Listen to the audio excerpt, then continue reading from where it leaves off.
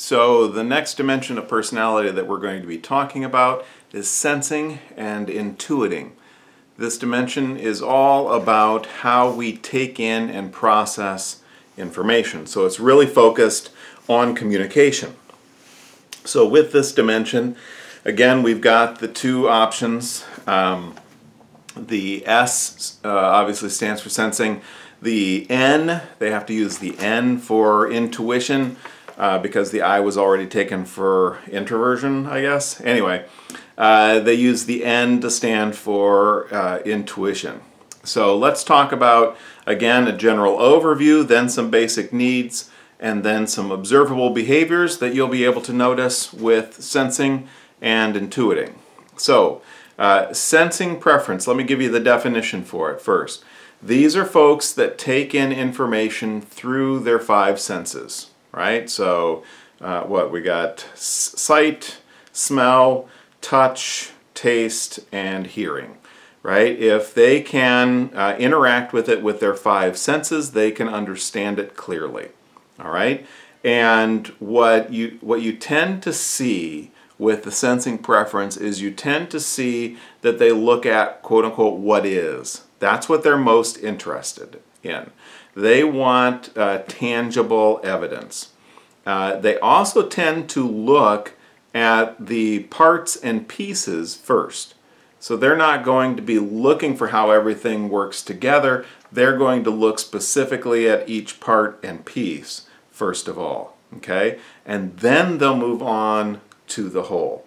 It's very important that they are uh, able to receive and understand the details first. So they're going to look at each different section uh, of an issue. They're going to look at each component of a problem.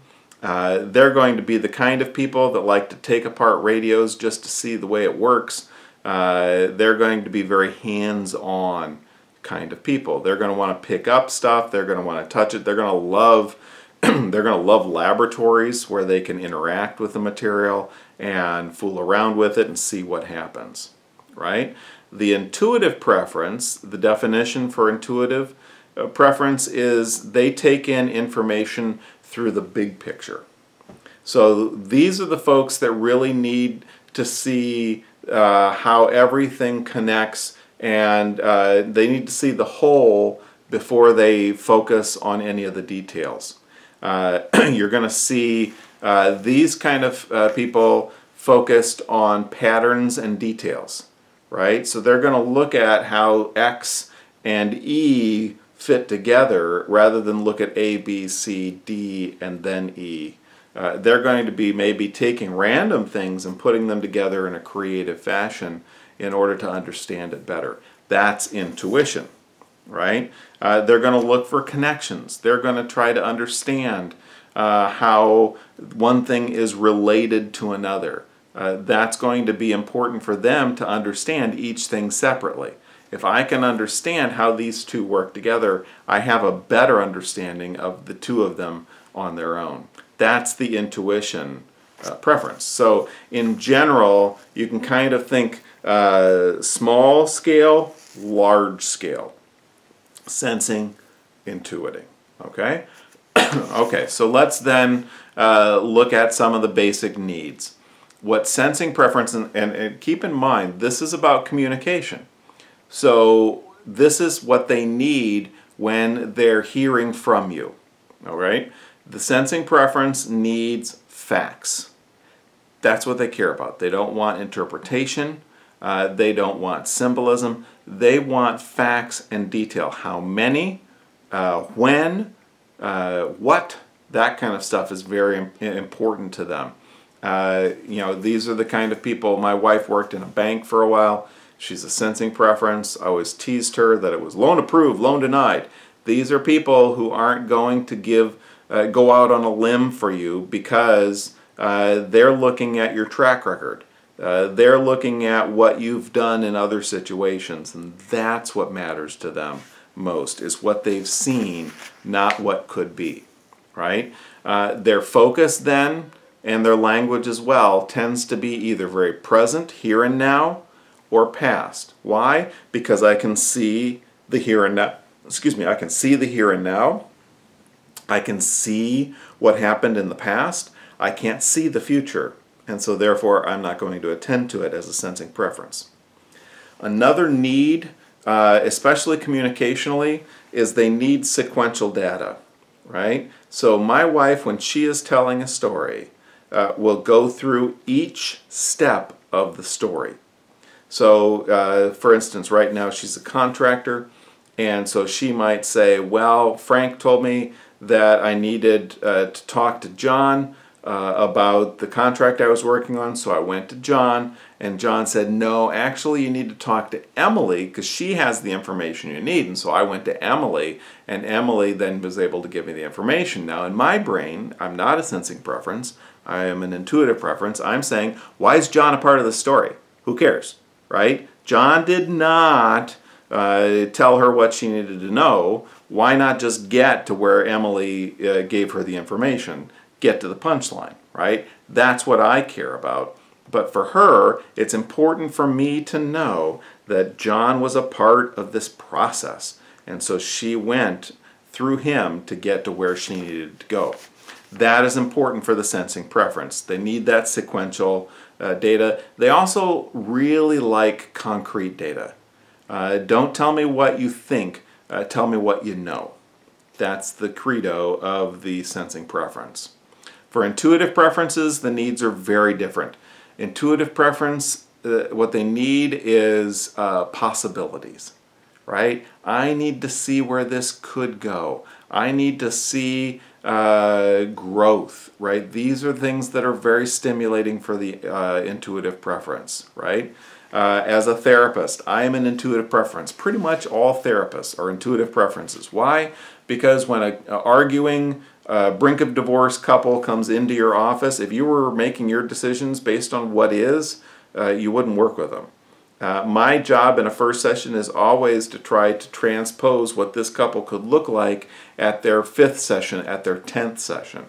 Uh, I am always looking beyond who they are uh, to see where uh, they could be. Uh, and that possibility is very important for me. If I am faced too much with people saying, no, we can't talk about possibilities, we got to look at the world as it is, uh, I, I get very drained very quickly.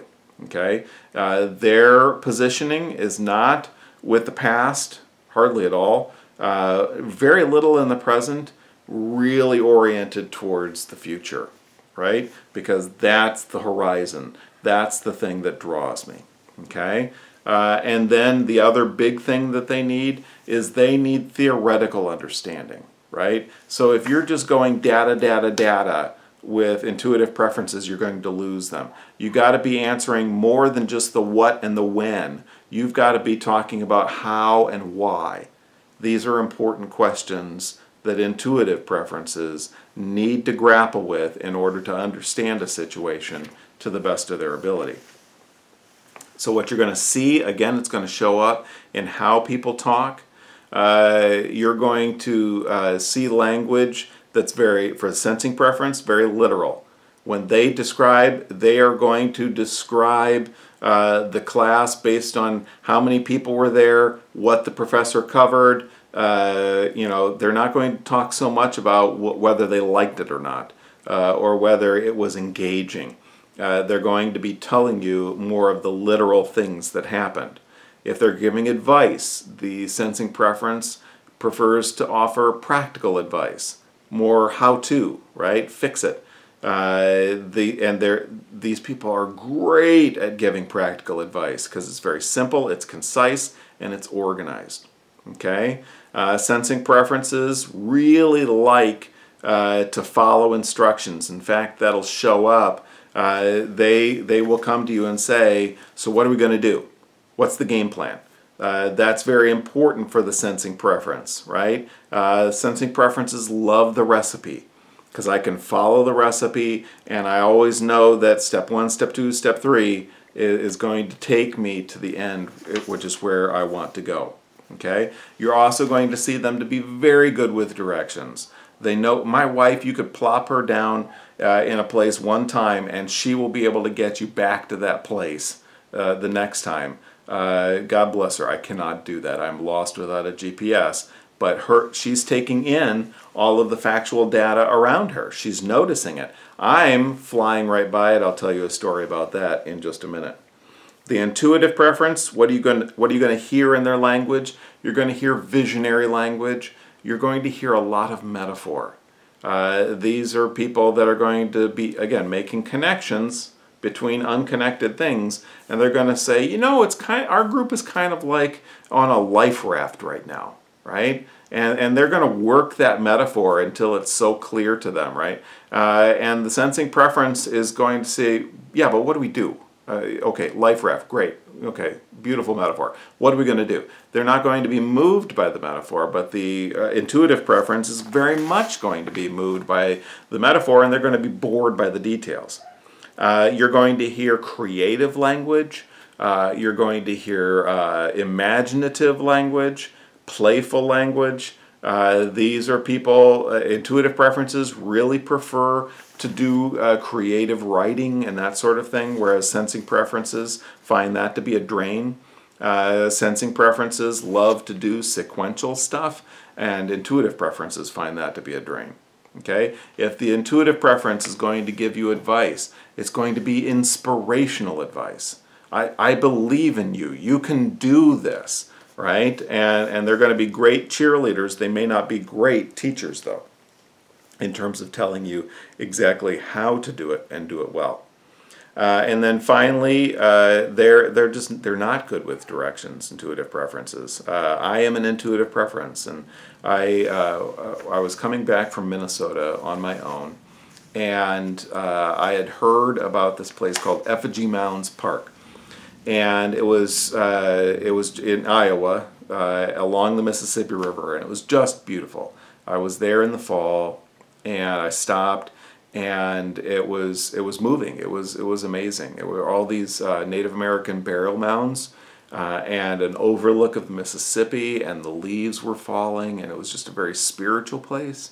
Uh, really, uh, I just I really enjoyed my time there, and then I was coming home, this is in the days before cell phones. I get in my car and I pull out of the parking lot and I'm driving along and I went about 15 miles before I got to the sign that said, Welcome to Minnesota. So I was driving 15 miles of uh, my trip backwards, uh, heading back to Minnesota instead of south to the Quad Cities. And so I got home obviously later and my wife was wondering why I was home so late, and I told her the story about driving to Minnesota again. And she shook her head, basically, uh, and not understanding how I could do this. But this was a beautiful place, and I wanted to actually take her. And so next year, the next year in October, uh, for our anniversary, I took her and we had a picnic there and we walked through the park and it was beautiful. And we're, we're loading up to go and we're pulling out of the parking lot. And she's like oh is this the place where you drove back to minnesota? I said yes. She goes if you're driving north in in iowa along the mississippi river the river should be on your right. I had driven thinking i'm going south. It should have been on my left I had driven with this Mississippi River on my right uh, for 15 miles, this huge river right next to me, and I had completely missed that uh, tiny little detail. Uh, why? Because my mind was still wrapped up in the meaning of the place that I had just visited instead of paying attention to the direction that I was going. So that's sensing and intuiting.